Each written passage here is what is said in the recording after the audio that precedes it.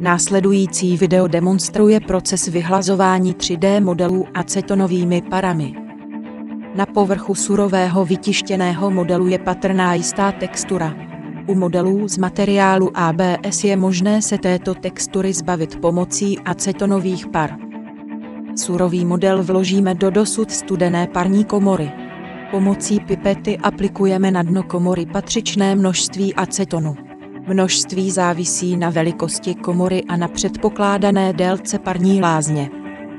Aceton je vysoce hořlavý a leptá, proto je nezbytné dodržovat bezpečnostní předpisy a vyhlazování provádět v dobře odvětrávaném prostředí laboratorní digestoře. Po uzavření komory zapneme ohřívač a nastavíme termostat na cirka 80 stupňů Celsia. S postupným ohříváním parní komory stoupá oblak acetonových par vzhůru. Acetonové páry jsou těžší než vzduch, proto se drží u dna komory. Tento fakt je třeba vzít v úvahu pro stanovení optimální délky acetonové lázně. Délka lázně je přímo úměrná velikosti a hrubosti textury vyhlazovaného modelu.